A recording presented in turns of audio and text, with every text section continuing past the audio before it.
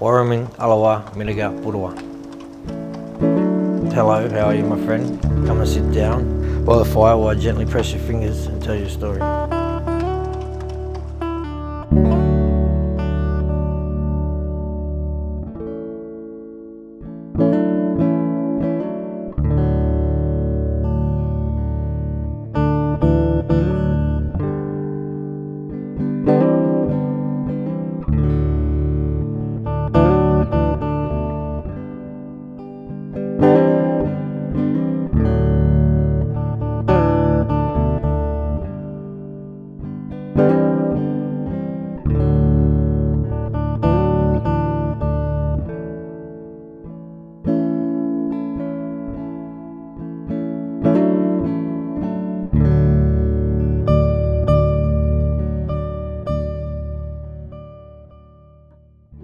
How you first started making art?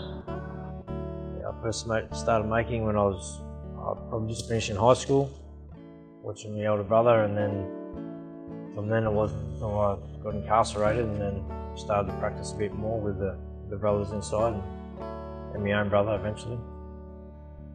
You mentioned to me that there was someone when you were young who taught you about painting. Like an older brother, Dudson, the old man brought him in under the wing because he's come from like a broken family, and he lived with us since the age of 14, 16. He was six years older than me, and he just he started the dot work, and so he sort of taught me the storyline, how each dot means everything, what colour means it, you know, the earth colours and all such, and explain the totems and and all that stuff from there. So it was not just painting, he was also teaching you really deep cultural knowledge. Yeah, as the story, yeah, and it, yep, about every line, every stroke, it's you know, it means something.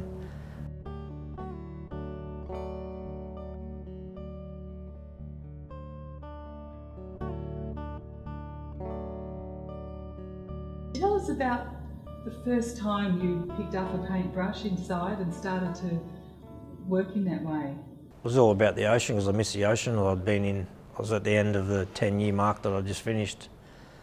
So that's when I started expressing a lot of coming home and all that sort of such. And it was always the, you know, the lonely worry on the rock, you know, heading home and all that stuff. But that's when I started expressing it the most and then pretty much didn't pick up another one until, which is sad, until my next sentence, which was the end of that parole in Queensland. And that's when it kicked off more when I was actually incarcerated with my older brother. You know, sitting in the same cell and reminiscent of such of, you know. And that's when it all started getting more expressed, I think. You'd share a canvas and do different. Yeah, I do. I do parts. He do parts, and I was funny enough. I was teaching the older brother some of my techniques that I learnt from, you know, our adopted brothers. What does river mean to you?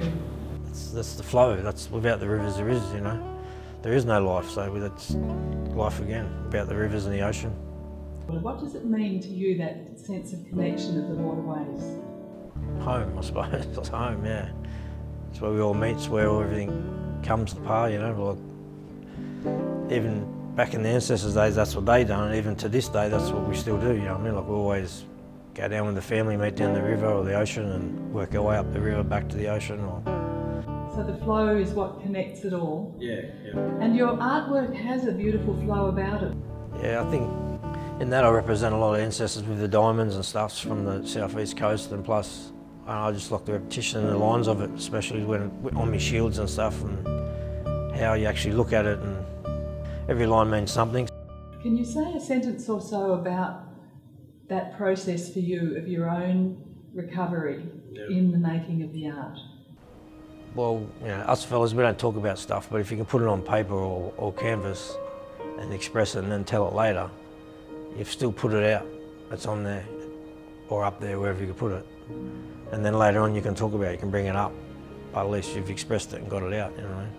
I've, I've done that with a lot of paintings as well. And that's why a few of them, like the Bahami one and stuff, with my brother that we done, that's about our journey and stuff. Like, it was hard to let it go, but it's more of my point to put it out there so other people can learn from that. If not, it's off my chest as well, and it's off my brother's chest, you know. So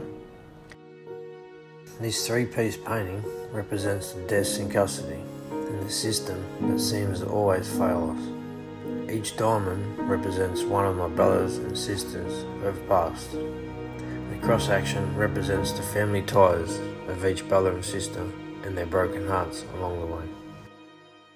I've learnt a lot from Daniel and he very much can be a mentor to me. Um, with Daniel in particular, I feel like his work is just so much bigger than him. He doesn't just do it for him as much as he is on his journey of healing. He creates a pathway for others where others can heal as well.